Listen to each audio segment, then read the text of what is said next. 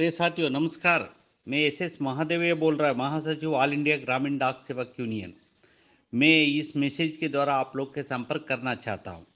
मैं हाल ही में केंद्रीय मुख्यालय के द्वारा सर्कुलर भी बना के हिंदी इंग्लिश में हर डिविजनल शाखा सचिव के पास भी भेजा हूँ। साथियों, आज जो पिछली कुछ समय से देश भर में नहीं, सारे दुनिया में भी ये कोविड कोरोना वायरस का कारण बहुत आ, समस्या दुनिया के सामने है हमारे हिंदुस्तान में भी है हमारा ग्रामीण डाक सेवक के अंदर भी है हमारा बीओ के अंदर भी हमारा जीडीएस का मन के अंदर भी प्रश्न पूछ रहा है। इसलिए हम लोगों पिछली हफ़्ता कुछ पत्र वगैरह सरकार से व्यवहार किया।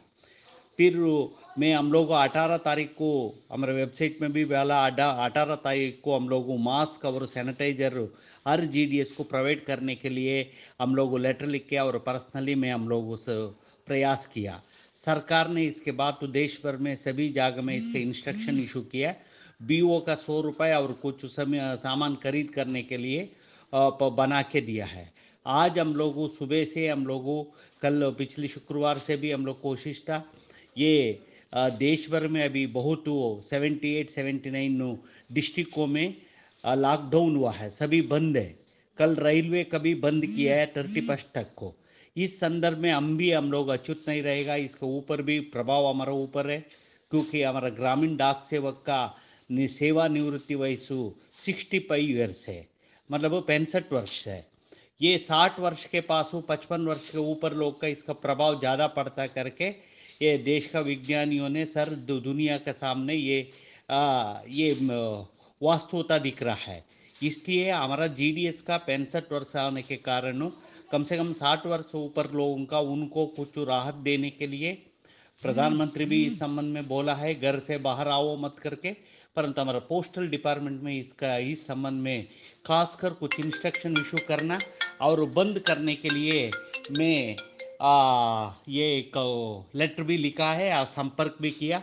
इस संबंध में आज तेलंगाना सर्कल हैदराबाद इत्यादि का थर्टी फ़र्स्ट तक को लॉकडाउन करने के लिए पोस्टल डिपार्टमेंट को बंद करने को आदेश किया इस आदेश में आ, पोस्टल बोर्ड और ऑफिसर्स ने इस तरह ये सूचे कि कोई कोई कोई सर्कल सीपीएमजी का इस संबंध में अधिकार दिया गया है।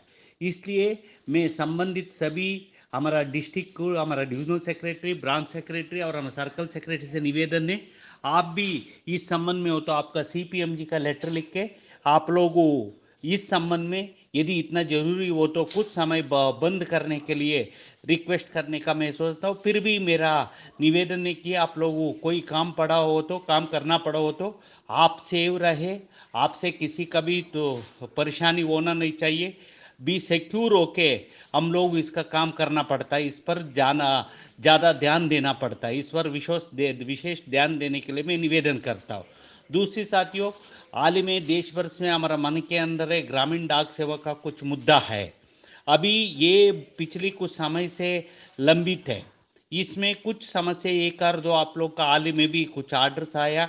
अनुकंपा नियुक्ति के संबंध में पिछली 2005 से लेके 2017 मई तक को कितना रिजेक्टेड केसेस है उनको दोबारा वन टाइम मेजर देने के लिए सरकार ने आदेश दिया है। ये इसका हम लोगों वेलकम भी, भी किया है। इससे कुछ हज़ारों साथियों का कुछ मदद होगा।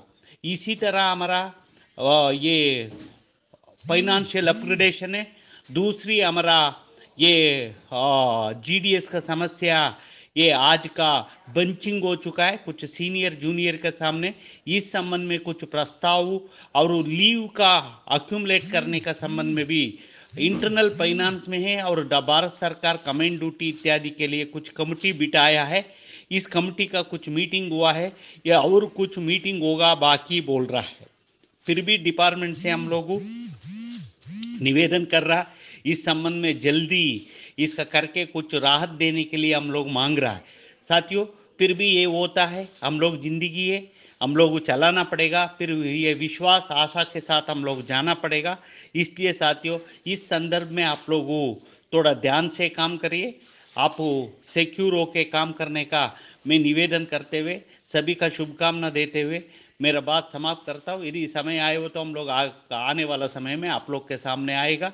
हम लोग आप लोग के बीच में रहेगा।